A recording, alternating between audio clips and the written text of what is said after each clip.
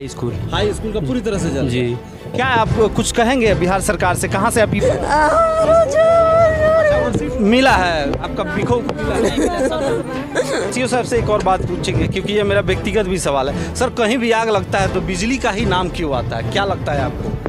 इसको थोड़ा बढ़िया से क्लियर करिएगा क्योंकि लोग बिहार सरकार के बिजली विभाग पर थोप देना चाहते हैं। नहीं तो बिजली से लगता है तो शॉर्ट सर्किट यहाँ तो बताया जा रहा है कि शॉर्ट सर्किट से लगा तो शॉर्ट सर्किट ये सब आप देख सकते हैं ये चांदी है। ये चांदी की जो जेवर हैं वो पूरी गल चुकी है। लोगों के घर में गैस भी जली है क्या भड़की है? गैस तो किसी के घर में गैस ही नहीं था। गैस का सिलेंडर है मगर महँगी के वजह से मजदूरी के वजह से उसमें से गैस ही नहीं है तो कहाँ से लोग नमस्ते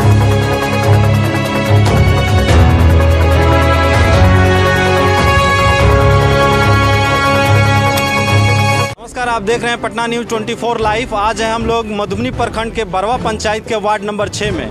मैं आपको बता दूँ कि यहाँ लगभग 10 घर जल के राख हो चुके हैं और हमारे साथ हैं मधुबनी सीओ। इनसे भी बात करेंगे कि क्या क्या राहत मिलेगी और यहाँ के मुखिया भी हैं। सर सबसे पहले घर जब जलता है तो लोगों को ऐसे लगता है कि क्या मिले और जल्दी से हमारा घर बन जाए, जबकि इसकी प्रक्रिया लंबा होती है। हम लोग भी जानते हैं। आम लोगों को ये बात पता नहीं होता है तो थोड़ा इस पर क्लियर करिएगा। सबसे पहले आज की घटना जो है, बहुत दुखद घटना है। इस पर हम सब संवेदना व्यक्त करते हैं। सरकार का इसमें जो राशि है वो उन्नीस हज़ार रुपया तय है और झोपड़ी के साथ जो राशि है नगद और वस्त्र वगैरह, उसके मिलाकर उन्नीस हज़ार रुपया तय है। उस राशि के लिए हम सब जिला से बहुत जल्दी मांग कर रहे हैं कि मिल जाए ताकि सबको हम राहत तुरंत दे दें और अपने सब व्यवस्थित रूप से जीवन व्यतीत करना शुरू करें। नॉर्मली यहाँ एक त्रिपाल भी मिलता है जो तत्काल सेवा दिया जाता है। तत्काल सेवा के लिए तिरपा हम सब पॉलीथीन सीट जो विभाग का है वो हम सब तुरंत उपलब्ध कराते हैं। ए- एक और चीज़ सर काफ़ी दिन पहले भी बहुत लोगों के घर जले हैं। हालाँकि इस योगी पट्टी में खोतावा पंचायत में जला था वहाँ उन्नीस हज़ार रुपये का चेक मिल गया। लेकिन उससे पहले बहुत सारे घर जले हैं जिनको अभी तक लाभ नहीं मिले हैं उन्नीस हज़ार ना तो ये तो आवेदन अगर दी हो तो उसको हम जाँच करवा लेते हैं क्या बात है। ठीक है और भी बहुत सारी चीज़ें हैं। मुखिया जी से भी बात करेंगे। सर आपका क्या कहना है ये घर कैसे जली कब जली है ये मुझे क्लियर करिएगा। ये बहुत दुखद घटना है। इसके लिए संवेदना हम व्यक्त करते हैं। ये घर लगभग सात साढ़े आठ बजे के करीब में आग लगा है और शॉर्ट सर्किट से ही आग लगा है शॉर्ट सर्किट मतलब बिजली से। बिजली से लगा है। इसमें दस घर जल के और किनका किनका घर? कुछ बता सकते हैं? एक गिरजा देवी हैं लक्ष्मी चौहान हैं और उमेश हैं। लगभग ऐसे ऐसे दस लोग हैं भवन चौहान है दस लोग हैं ऐसे ऐसे जिनका घर जला है। कैसे लोग हैं मतलब ये नॉर्मल लोग हैं? बहुत बहुत गरीब लोग हैं ये मजदूरी करके अपना जीविका यापन करते हैं। जीविकापार्जन इन लोगों का मजदूरी से ही चलता है।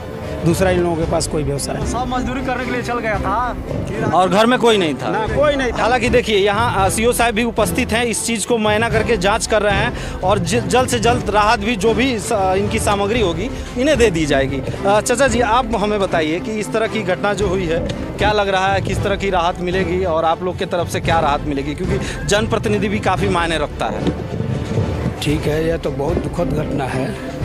और सीओ साहब को भी हम लोग सूचना दिए और तत्काल उपस्थित भी उपस्थित भी है।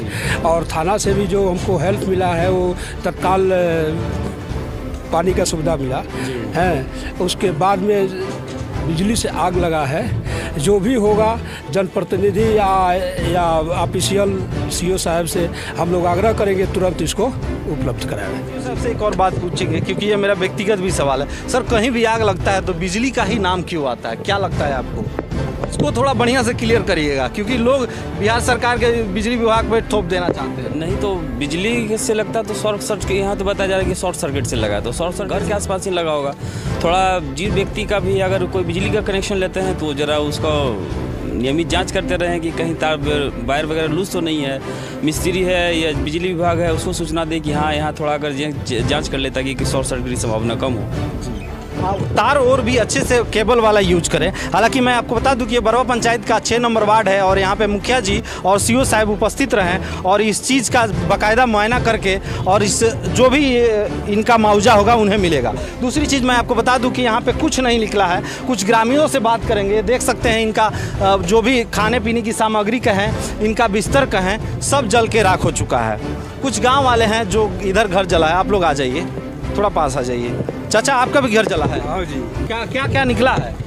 कुछ भी सामान नहीं निकला है। सब जल गया? सब जल गया देखते नहीं है कैसे लगा है आगे बिजली से लगा है यही घर से। यही घर से? और घर छोड़ के खेते चल गए अच्छा घर में कोई नहीं था? हैं? घर में कोई नहीं था? और रहिए कोई क्या करता है? खाना वाना बनाओ तो रहने को सब कोई अब सारा लोग खेते में गई रहो अच्छा जी। सोइया करे कहीं पानी पटवे कहीं कुछ करे। और समझे द्वार पर केहू रहबे न कैल कुछ और लोगों से बात करेंगे। आपका भी घर जला है? आपका? अच्छा आप लोग बताइए, इस तरह की घटना काफ़ी आप लोग गाँव वाले एक्टिव हैं। तुरंत इस आग पे काबू पा ली है, क्योंकि चारों तरफ़ पूस का घर है। हाँ जो हम लोग जो गाँव में सहयोगी आया, पूरा गाँव का लोग इकट्ठा जब हुआ तो एक एक घर में पूरा जल रहा था। यहाँ घुसने पर कोई नहीं काबू पाया। फिर बगल साइड से सब लोग जब पड़ गया तो बीच में जितना जल गया, उतना जल गया। बाहर तो से सब आदमी कवर कर लिया। तब तक गाड़ी आ गई दमकल की भी गाड़ी आ गई। हाँ दोनों गाड़ी आ गई तब तक। तब तक हमारे मुखिया जी भी आ गए। उधर से हमारे पूरा जिला थी सी साहब वो भी आ गए। और सब आदमी मिलकर जितना जल गया था उतना ही भी कवर कर लिया। बाकी हम लोग बढ़ने नहीं दिया चारों तरफ़ से। इसका कारण है कि सही समय पे सब अधिकारी और यहाँ के जनप्रतिनिधि उपस्थित हो गए जिसके कारण से लगभग जितने दूर में लगा है दस बारह घर जल के राख हो चुका है और इससे एक इंच भी आगे नहीं बढ़ा है। कहीं ना कहीं अधिकारियों का और जनप्रतिनिधियों का इसमें बड़ा योगदान है। मैं आपको बता दूँ कि यहाँ देख सकते हैं, ये गेहूँ गेहूँ है। इसको थोड़ा नीचे से दिखाइएगा। ये पूरा जल चुका है और बेकार हो चुका है। ये अनाज का ये जो दाना है किसान इसको बहुत मेहनत करता है कमाने के लिए सींचता है और खेत को अपने बच्चे की तरह सजा के संवारता है ताकि इस गेहूँ को अनाज को खाने मिले। लेकिन इस तरह की कई घरों में गेहूँ और धान जल चुके हैं। कुछ चीज़ कुछ और चीज़ें मैं आपको दिखा दूँ। यहाँ इस साइड भी इधर भी देख सकते हैं। इधर भी एक डेहरी रखा हुआ है। ये पलंग है खाट है। जो पूरी तरह से ये जल चुका है इनके खाने पीने की जो भी सामग्री है लगभग जल चुका है। किसका घर है ये? भगन चौहान। जी का। ये शादी वादी किसी के घर था यहाँ पे? शादी अभी है इनके घर? शादी हो गया लक्ष्मी चौहान। शादी हो चुका है। तो ज़ाहिर सी बात है अभी अभी उस पर जो लगन पत्रिका है, वो दिख रहा है वहाँ पे। मतलब इनकी घर की सामानें कोई नहीं निकली है। इस तरह की घटनाएँ हो रही हैं, लेकिन समाज में भी एक जागरूकता होनी चाहिए कि आप अपने बिजली का तो तार लगाते हैं, वो सस्ती ना लगाएँ, मज़बूत अच्छा केबल लगाएँ। जब भी भी दुकानदार के पास जाएँ तो उनसे छः एम केबल का तार मांगें, जिससे मजबूती रहे और आपके घरों में आग नहीं लगे।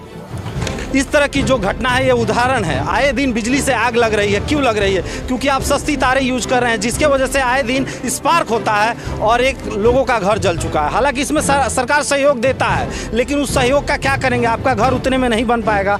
तो आशा करते हैं लोग इससे सीख लेंगे और अपनी घर की जो तार है वो अभी बरवा पंचायत के जो मुखिया हैं उनको सब लोगों को कुछ सहयोग राशि देंगे। कितना देने वाले हैं अभी सहयोग राशि आप? दस लोग हैं यहाँ पे। दस लोग सभी सब लोगों को एक एक हज़ार रुपया तत्काल में काल में राहत देने के लिए हम। और आप लोग कह रहे थे और बाँस ओस जो से बन पाएगा? जो भी जो भी सहयोग होगा वो हम लोग करेंगे। चलिए इन लोग को दे दीजिए। और कुछ एक लड़के हैं उनसे भी बात करेंगे। बाबू थोड़ा इधर आ जाइए। आपका नाम बताइए। राजन चौहान। राजन चौहान। मुझे बताइए आपकी ये कौन से कौन से क्लास की मार्कशीट है? तीनों। इसे पूरी तरह से जल चुका है। इस साइड से दिखाइएगा। और कौन सा एक मार्कशीट है जो पूरी तरह से जल गया है? हाई स्कूल हाई स्कूल का पूरी तरह से जल जी। क्या आप कुछ कहेंगे बिहार सरकार से? कहाँ से आप यूपी से? यूपी से यूपी से। क्या कहना चाहेंगे आप? आपकी तो मार्कशीटें जल गई जी यूपी सरकार से हम यही कहना चाहेंगे मेरा मार्कशीट अच्छे से फिर बन जाए।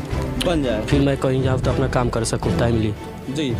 हालाँकि देखिए प्रधानमंत्री योजना के जो है उसके तरह से आवास मुहैया होता है लेकिन यहाँ पे आवास मुहैया नहीं हुआ। एक और चीज़ पूछेंगे मुखिया जी। अ, लोगों के घर में गैस भी जली है क्या भड़की हैं?